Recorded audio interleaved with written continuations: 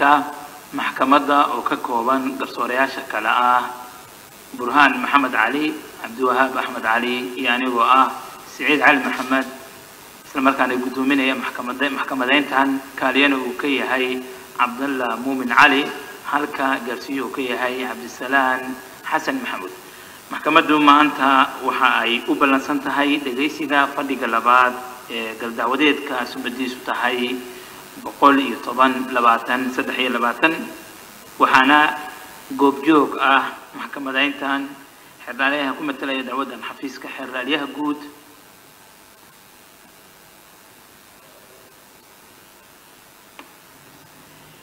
iyo eedeysanayaasha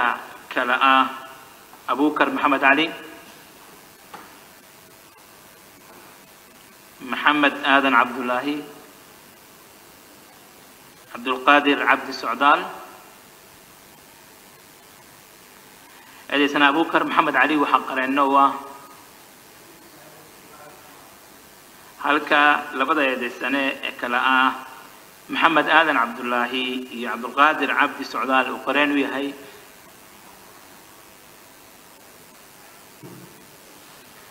Fadhigan fadhigii ka horreeyay ee maxkamaddu yeelatay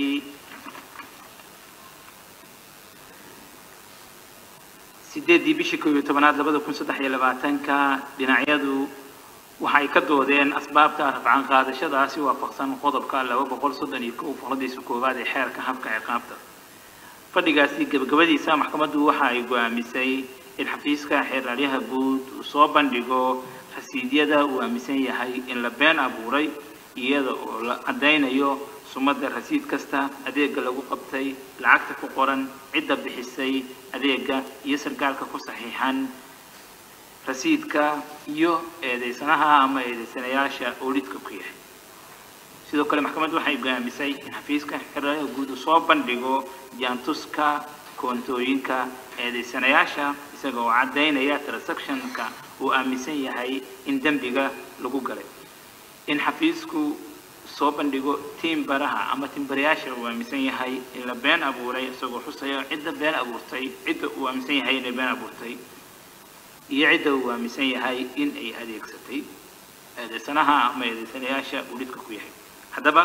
fadhiga maanta maxkamaddu waxa ay xafiiska xeeralyaha guud ku wargelinaysaa in uu ku saabsan yahay keliya soo bandhigidda rasiidyada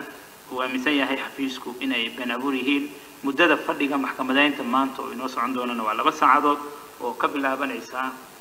sagaalka iyo barka kuna eg kow iyo tobanka iyo barka. Muddadaas maxkamaddu waxay xafiiska xeerlaalyaha guud xeerlaalyaha ku matalaya dacwadda fursad u siinaysaa inuu soo bandhigo caddaymaha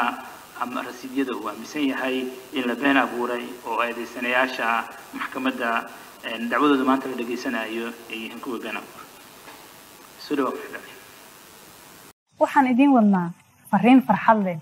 Ibs banki oo mar walba u taagan qancinta macaamiisheeda. Waxaanu kugu bishaaraynayaa qiimo dhimis ballaaran oo la xiriirta kaararka bangiga ee fiisa kaar iyo mastarkaar ku soo biir dunida casriga oo qaado ibs fiisa kaar